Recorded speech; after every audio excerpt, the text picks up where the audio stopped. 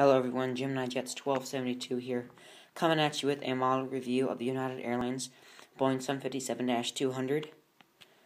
Um, so yeah, the main reason why I'm doing this um, model review is because I have a lot, I have some very important channel news.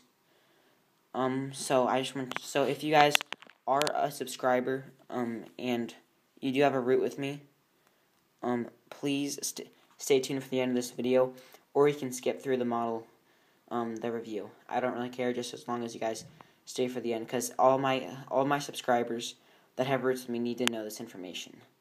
So, um, let's just get started with the box here.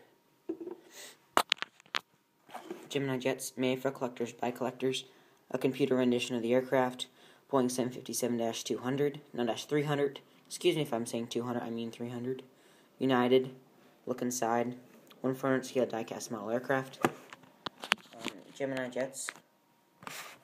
One 400 scale diecast model. So focus. Gemini Jets, another computer rendition of the plane, Boeing 757-300. Um, the item number is GJUAL 1394. Gemini Jets is a dog collectible model. And there's the barcode. And then same thing as the other side. Um, let's check a look at the back here. There's the aircraft climbing. Gemini Jets as real as it gets.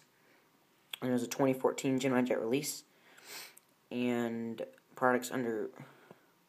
Uh, I can't read that. Oh well, made in China. So let's take a look at the inside of the box now.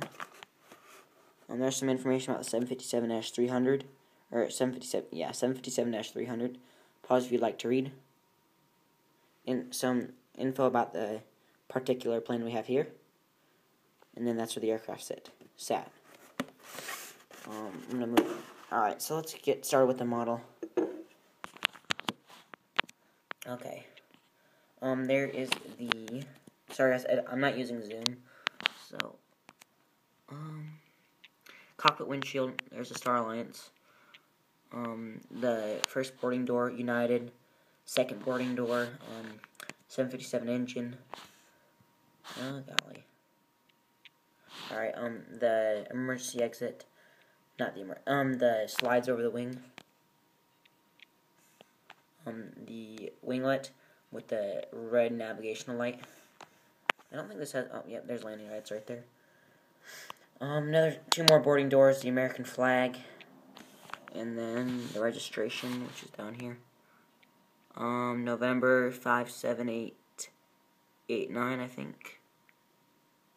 Um, um, November 57860, I think. Nope, six nine.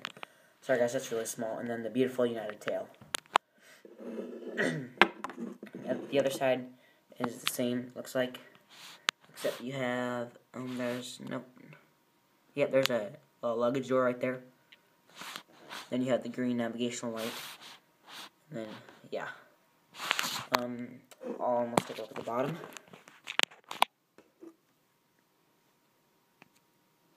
Nose landing gear, and then the silver belly, Gemini jets, um, the stand hold, and then the main landing gear, the engines, the engine, and then the back um, luggage door, and then the fuselage, back the fuselage.